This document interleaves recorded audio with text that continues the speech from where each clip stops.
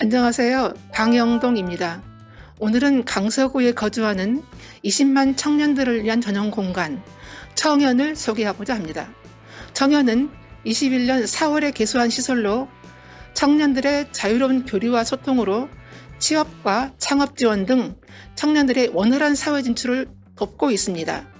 청년 공간, 청년에 대하여 지금부터 자세히 알아볼까요? 청소년 무료 사용 공간인 청년은 5호선 개화선역 1번 출구에서 약 150m 위치해 있습니다. 그럼 지금부터 청년 공간을 한번 둘러볼까요? 청년이란 청년들의 아름다운 인연의 줄임말로 강서구 청년들을 위한 복합 커뮤니티 공간 청년은 평일 오전 9시부터 오후 6시까지 이용 가능합니다. 내부 시설을 한번 알아볼까요? 입구에 들어서면 안내 데스크가 있고요. 그 앞에는 북카페가 있습니다. 회의실은 약 12명까지 회의할 수 있으며 유튜브 촬영도 가능하다고 하네요. 회의실 옆에는 20여 명을 수용할 수 있는 강의실이 있습니다. 빔 프로젝트와 스크린 설치되어 있는 최첨단 강의실입니다.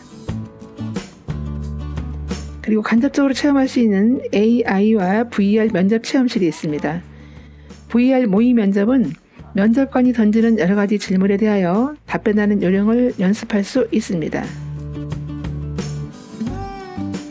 AI 모의 면접 또한 AI 면접관이 던지는 여러 가지 질문에 대하여 답변하는 요령을 연습할 수 있습니다.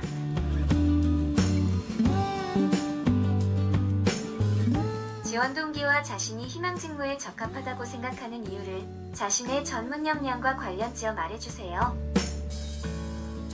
AI와 VR 면접 체험은 실전 경험이 부족한 청년들에게 자신감을 심어줄 수 있는 유익한 경험이 될 것입니다. 청년은 강서구에 거주하는 19세 이상 39세 이하 청년이면 누구나 이용 가능한 공간입니다. 청년은 앞으로도 사회 진출을 앞둔 청년들을 위해 지속적으로 지원할 계획을 확장시켜 나갈 예정입니다.